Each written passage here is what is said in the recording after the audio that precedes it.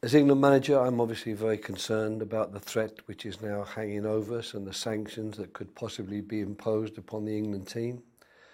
We worked very hard to get here and we, we really desperately want to stay in the competition.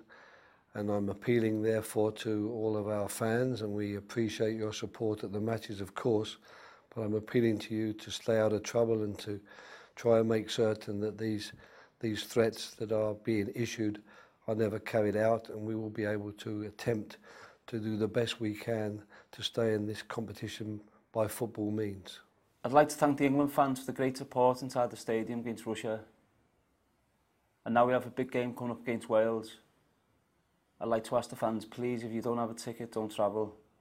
And for the fans with tickets, be safe, be sensible, and continue with your great support for the players. Thank you.